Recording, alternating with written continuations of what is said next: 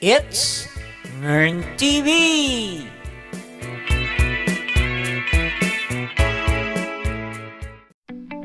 Okay. So, ah...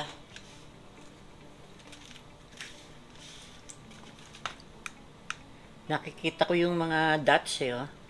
So, ang gagawin ko ay uh, iisising ko uli siya using uh, itong ano, Pumice.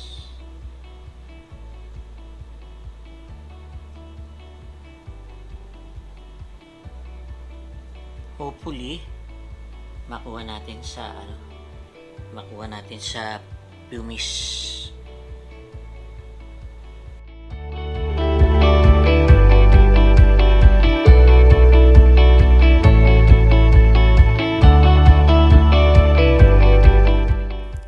Hello mga katropa! Ayos ba tayo dyan? Ako, ayos lang ako dito sa San Diego, California. Kung bago lang po kayo dito sa channel ko, ito po ay ang Ngern TV. And this is your host, Kamyong. Para sa aking mga subscribers, welcome back! Pero kung bago pa lang kayo dito sa aking channel, eh mag-subscribe na po kayo dahil marami po kayong matututunang katotohanan dito. Okay. Ano na? Ma kintab na siya oh. Very smooth na siya. Kaso parang may naramdaman ako rito oh na ano, rough surface. So ang gagawin ko ay iisising ko. Tapos ay papahiran ko ng ano, ng linseed oil.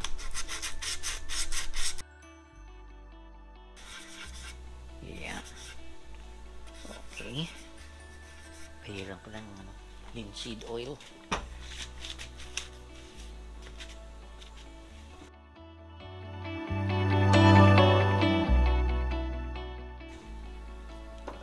And then, let's rub yun. Yan. So, this is the fine time para ma-check kung meron pang mga kailangang uh, uh, mga minor ba. So, yun ang ginagawa ko, no? Pretty much, sinasalat ko lang yung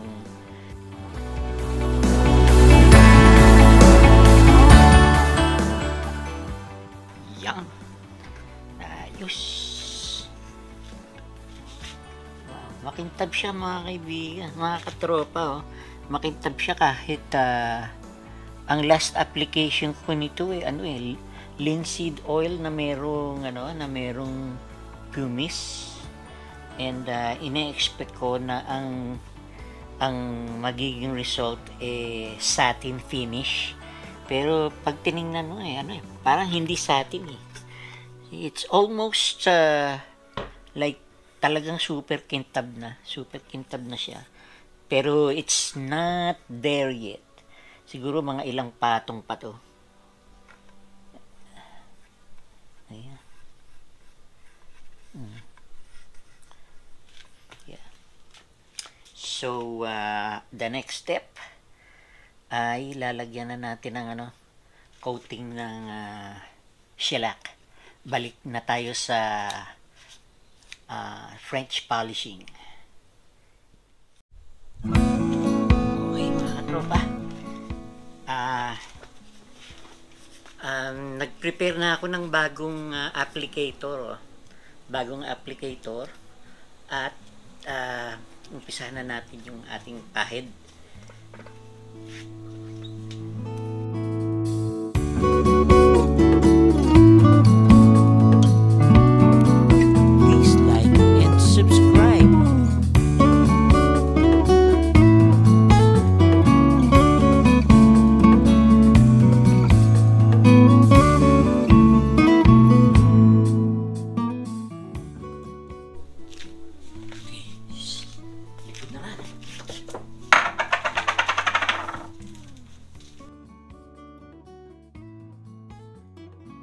Alright, so ito yung mga katropa, no, yung second coat nung uh, uh, shellac. Ah, pasensya na kayo, hindi ko na i-record kasi namatay yung camera. Pero anyway, here's how it looks. So, so far so good. Iniisip ko tuloy kung ano eh, kung gusto ko ba ng super glossy finish o gusto ko ba ng satin finish. So, iniisip ko ngayon kung anong dapat gawin.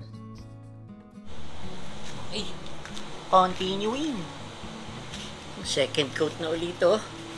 Since yung huling pag-iisis.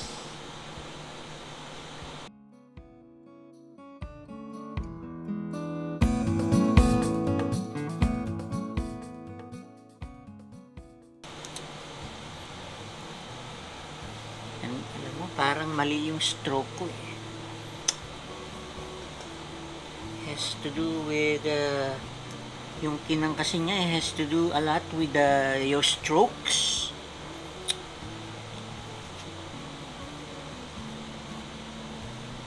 Kaya nakikita ko sa trabaho ko yung stroke ko rito mas maganda kaysa doon sa kabila. Hindi maintindihan kung bakit.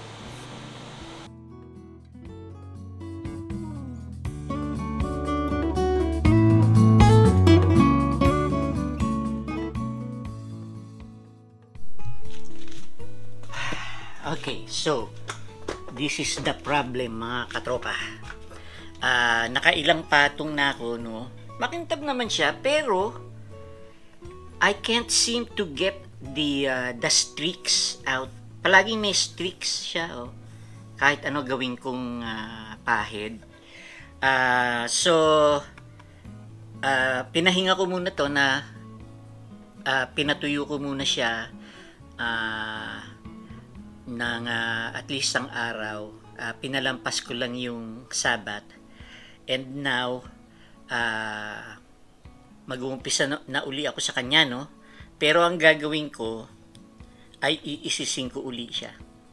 Pero ito lang, itong top lang, tapos itong top lang na to. Hindi yung panabi. Okay, kasi yung panabi, okay na ako dun sa panabi. Ito, gusto kong isisin. Yan. Okay. Ito na. Ano ba to? 320 to dapat eh. 320 yan.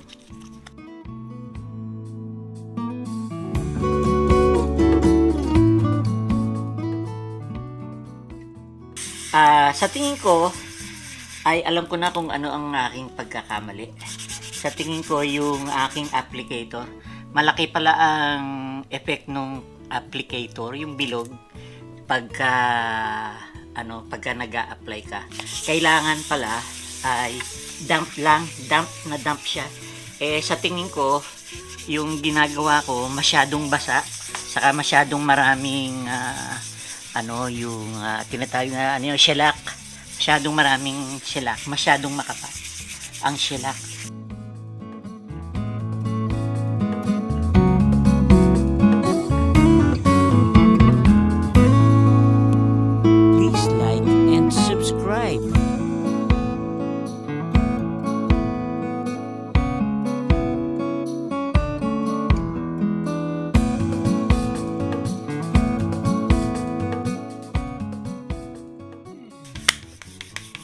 Mahirap din pala, no? Saka it takes a lot of practice kasi ngayon ko lang nagawa to eh. I have no idea how this works. But it seems that I'm learning. Sabi nga nila, practice makes perfect.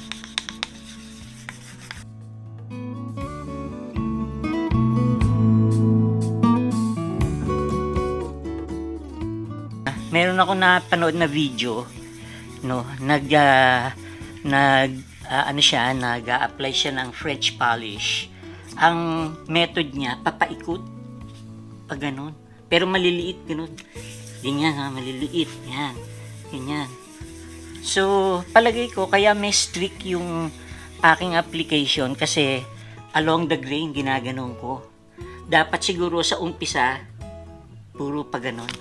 Tapos ah pag kayo madulas na siya, yeah, pa, gawin ng pag ganon. Pero, ang pagkakaintindi ko eh, parang either way, eh, whichever way eh. Pagka nagpe-French polish ka. Kaya ano eh, kaya walang streak. Kailangan ganito, yan. Yan, ganyan. Nag-iba ang texture, oh. Oo nga, ano. Ganito pala dapat. So mga katropa, no, pag nag apply kayo ng French polish, dapat sa umpisa pa lang, pa-circle na gano'n na maliliit. Saka very damp yung ano yung yung applicator kailangan ano yung very damp siya alam niyo ibig sabihin ng damp yung parang ano lang siya parang nabasa lang yung parang ano ba yung damp sa Tagalog nakalimutan ko damp yung tiga yung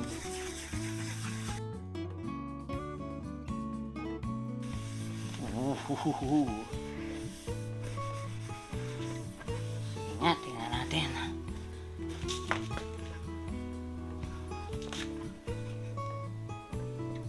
Nabawasan. Nabawasan yung mga ano. Saka iba ang feel niya ngayon. No?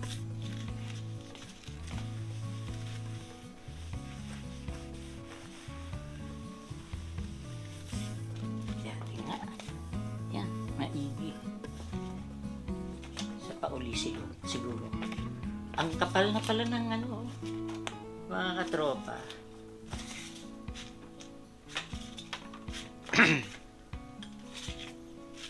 Ang kapal na pala rin ng ano, ng nailagay ko. okay. Okay. Tayo sa 600.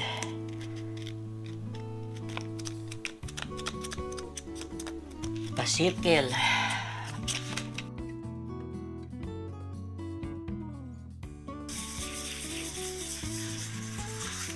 Okay mga katropa.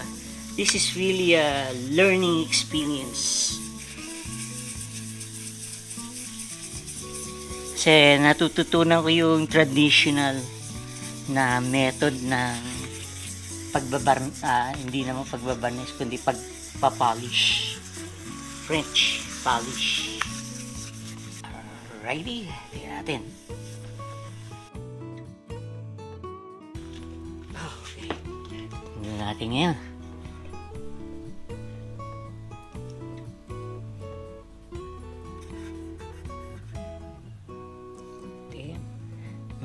na rin pala talagang tanggalin yung mga streaks. Oh.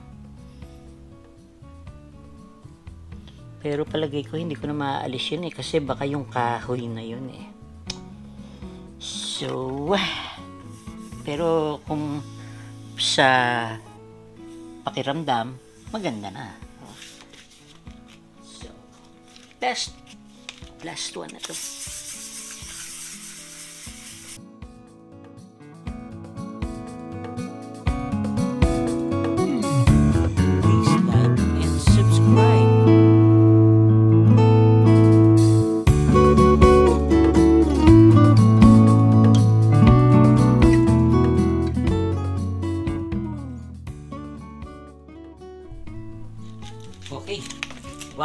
Final na lang.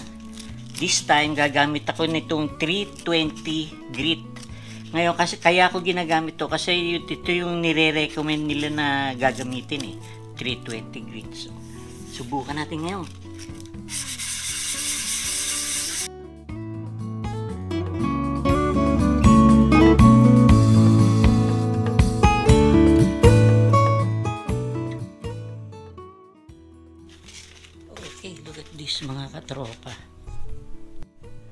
Okay, yo, mga katropa, kung makikita ninyo, yung isis na 320 grit, nakit, nakikita yung ano, yung mga grain ng kahoy mismo na namumuti siya. Oh. So, uh, yeah, always follow manufacturer instructions.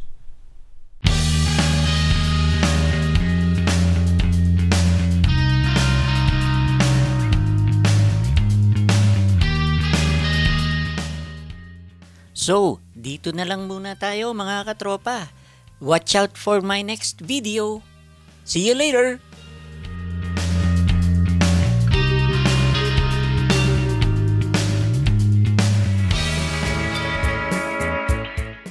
So ano pa ang hinihintay nyo? Click on the like button mga katropa. At mag-subscribe na rin kayo para masuportahan ang aking channel. And lastly, don't forget to click on the notification bell. Thank you!